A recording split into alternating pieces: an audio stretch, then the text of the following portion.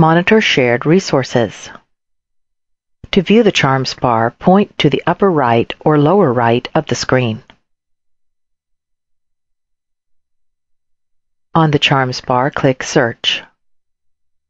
Under Windows System, click Control Panel.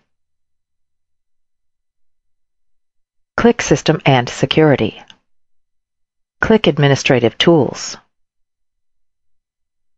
Right-click Computer Management. Click Open. In the task pane, expand System Tools. Expand Shared Folders. To view information about the shared resources on the selected computer, click the Shares folder. To view information about open sessions, click the Sessions folder. To view information about open files, click the Open Files folder. This is the process to monitor shared resources.